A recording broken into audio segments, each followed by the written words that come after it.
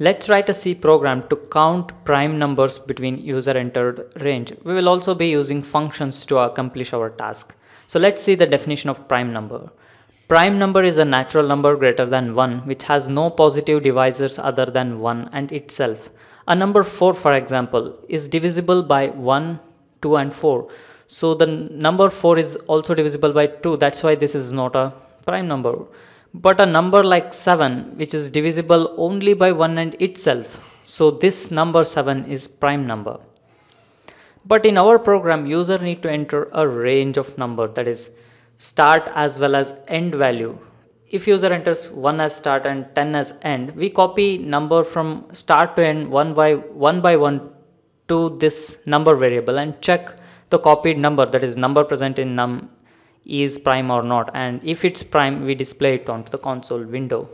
So prime numbers from 1 to 10 are 2, 3, 5 and 7. There are 4 prime numbers between 1 and 10.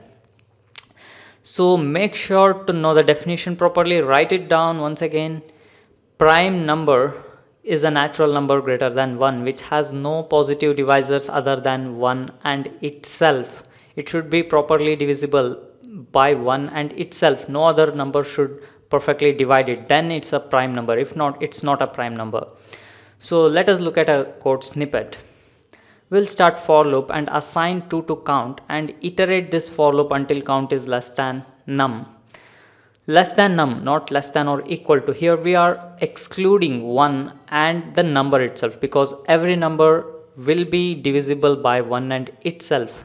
Okay, so we exclude 1 by initializing count by 2 and iterating this for loop until count is less than num. Okay, so inside for loop we check if that number is perfectly divisible by the value of count. In that case, if it's true, then that's not a prime number because prime numbers should and must be divisible only by 1 and itself. If any other number perfectly divide that number, then it's not a prime number. So we assign 0 to prime. That means the selected number is not a prime number.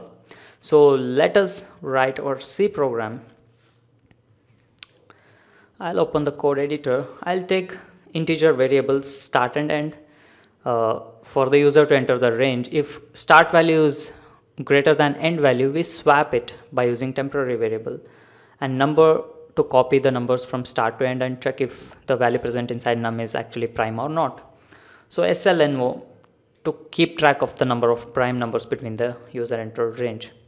So I'll ask the user to enter the start and end value and store it inside the address of integer variables start and end. So next up, let's logically we need to first check if the value present inside start is if it's greater than the value present inside end variable we need to swap the values of start and end we need to make sure the end value is always greater than the start value okay so if start value itself is greater than end value we use temporary variable to swap the values present inside variables start and end. So this is simple swapping technique using a temporary variable. So once this if condition is executed, start will always have a number which is less than the value present inside end. So I'll print out a message now that is prime numbers between percentage %d and percentage %d are which is present inside values variables start and end. So let me fetch number from one by one from start to end using this for loop. This for loop is to fetch number one by one from start to end. So I'll assign num is equal to start. We need to start from from the value start and iterate this for loop until num is less than or equal to num and num plus plus for each iteration of this for loop. So inside I'll check if the selected number is 1 we need to check for all these things because the count number of prime number count will be varied if we don't take care of these small things. If it's 1 then I'll write continue. So what continue does is it skips all the code below the continue and simply passes the control to the next iteration of this loop. So for next iteration I'll check if the number selected is prime using is prime method. Is prime returns 1 or 0 1 means true 0 means false. So i'm writing it inside if condition itself. So if it returns 1 then i'll print out this message. That is percentage d is prime number.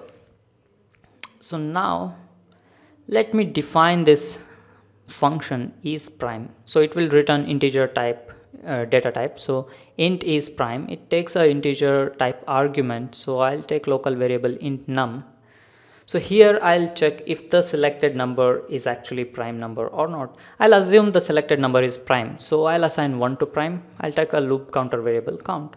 Here I'll write the for loop. I'll assign 2 to count because every number divides perfectly divides is perfectly divisible by 1 so I'll start with 2 so count is less than num shouldn't include the number itself. So I'm not writing count is less than or equal to num. I'm writing count is less than num to exclude the number itself. So count is equal to 2 and count is less than num. So here I'll check if the selected number is actually perfectly divisible by any number from 2 to num minus 1 if that's true it's not a prime number so I'll assign 0 to prime variable and break out of this for loop and return the value present inside prime. So what's the value of prime? It, it will be 1 or 0 okay? If it's prime it will have the value 1 if it's not prime it will have the value 0 I'll take another variable inum and assign it num minus num divided by 2 so I'll iterate this for loop until i num times. It works 2 or else I can write square root of num. So this optimizes our code that is reduces the number of iterations of this for loop. You can check the logic in uh, in our other video tutorial link to which is present on your computer screen right now. Since we are using sqrt I have I have included math.h header file here. So this is the logic for finding prime number or not okay so let us check the code if there is any error we need to keep checking the code often times. So i'll write range as 1 to 10 the prime numbers between 1 and 10 are 2 3 5 and 7 that's great. So let me even number these results using slno I'll increment the value of slno because initial value of slno I have provided is 0 so percentage d slno so it will start from 1 here according to this logic. So i'll give 1 and 10 itself throughout this program. So we have slno serial numbers. So we have four prime numbers between 1 and 10 let me even print out that message onto the console window. That is there are percentage d prime numbers. I'll write it. There are percentage d prime numbers between percentage d and percentage d that is between start and end. So slno which has the actual number of actual count of prime numbers between the range start and end. So let us check once again. I'll give 1 and 10 so prime numbers between 1 and 10 are so there are four prime numbers between 1 and 10 that's great. So let's do one more thing. I'll ask the user if he wants to print out the prime numbers or not. I'll take a variable called on and off because we can't take a variable by name switch because switch is a keyword here. So I'll ask the user, do you want to print prime numbers? Mm, he can enter 1 or 0 so I'll hint out something here. If S he need to enter 1 if no he or she need to enter 0 okay I'll store it store the user input inside address of variable on off. So it's very simple now. If he wants if he or she wants to print the prime numbers they need to enter 1 if not he or she need to enter 0 that's it. So let's see where we need to check this.